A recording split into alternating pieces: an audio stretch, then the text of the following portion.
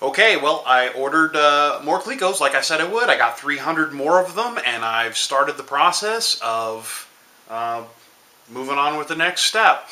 I will say one thing with the ordering of Clecos be sure to count the number of Clecos. I got mine from Avery. I ordered 300, they sent me 299. Plus, one of them they sent me is all boogered up. You can kind of see right there that it's all chopped to heck. Uh, you know, it just came out of the machine bad. So technically, they owe me two more Clecos. Now, that's a dollar. I'm not going to quibble over a dollar. You know, I might mention it at some point in the future, but whatever. Anyways, I'm just glad to get back to work. All right. Well, and here you can see me actually going through the bags. Uh, they send me uh, three brown paper bags, each with 10 uh, Ziploc bags that, in theory, have 10 Clecos each in, and one of those bags only had nine you know, Avery's great. I really like Avery, by the way. Uh, I'm not bashing those guys. It was just a mistake. You know, someone made a mistake, miscounted, and, you know, I, I lost one Cleco. Will be, I'm sure I will lose plenty more, uh, you know, either through destroying them or them falling off the bench or whatever. I'm just not going to quibble over a single Cleco. It's not worth my time or theirs. So what you see me working on is 9-7 step 3. I'm going through and match drilling all of the holes in the skin and using those copious amounts of Clecos that I purchased uh, to you know, put in each hole as I drill them. Uh, you're supposed to start from the center and work outward, which is what I'm doing here. Um, listening to an audiobook and drinking some, I think it was grape juice. Actually, it uh, might be grape drops. I use drops in water. Pretty tasty. So, not exciting, but, uh, you know, it is what it is. Now, I will say, the the decision to uh, I talk about this in a later video actually, but the decision to go left and right and then you know stay on one elevator for a while I think is a good one, uh, largely because it's very easy I think to get the two pieces confused between the left and right elevators, and if you don't have a lot of space, uh, you know, play you know someplace to lay out everything then uh, that kind of exacerbates the problem, right? Um, you know, you need to have a way where you can say this group of parts, which are identical when you start, uh, belong to the right one, and this group of parts belong to the left one, and always have them marked as left versus right. Um, I, I think that that's something that I've done a good job with, but I would definitely recommend being proactive when it comes to marking all the parts left or right, uh, you know, where they live on the plane and on the individual piece. Because many of the parts just look identical. Uh, especially after you get them match drilled. Like once you drill a piece, like there's a little there's a little uh, reinforcement plate. You know, you once you drill the reinforcement plate for, you know, the right elevator and it's the front uh, or the upper uh, reinforcement plate, well, then that's where it should always go. And you could easily just flip it around backwards on that exact same spot and have it fit slightly differently. Or even on the same piece of metal, slide down to the other position, it's completely wrong. Or accidentally put it on the other elevator entirely, and wow, no, it's really wrong. And it's just, just be, you know, be careful and definitely mark the heck out of stuff so you know exactly where it lives.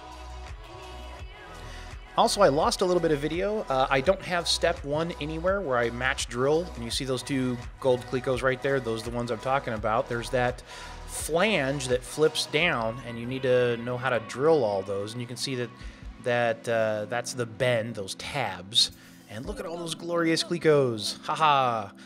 Boy, I can't believe you need that many, but you do. Once I get one of the uh, elevators there done, I put it off uh, on the side over there and start working on the next one. Um, there's a lot of just doing the same thing over and over again. Something I, I talk about in a later video, and I'll bring it up briefly here, is I have I do have more space than I'm using. I mean, you can see the motorcycle over there. I can I can easily move it uh, to someplace else in the garage, and I could expand into that other area. I mean, that whole that area is where my truck normally is parked. Um, and I think I'm going to have to do that uh, eventually. So the the green board that you see that I'm working on is an old table. It's a, you know, uh, it was originally an eight by or four by eight game board that you know I've ripped and turned into this. And the table itself is about two and a half feet uh, from front to back, you know, just shy of three feet actually. Now that I think about it, and eight feet long. And you know, it's it's a good amount of space. I think it's a an effective amount of space, but it, I think it would be better if I pulled it away from the wall and made it so that I could walk all the way around it. Especially when it comes to the wings, which you know the wings are going to be much bigger constructs and are going to take a lot more room. And so I think I'm going to have to do that uh, going forward when I work on the next step of this, which, by the way, I've already started saving money for. Um, I highly recommend saving money now if you're going to do this because each of these pieces get more and more expensive. One thing you may be noticing is that on this second elevator, instead of doing every single hole, uh, especially across the spars, I'm doing every other hole because if you look at my bucket, I'm running out of Clecos again. You know, and this is after buying another 300. You know, I've got 600 some odd Clecos now, and I'm using them all.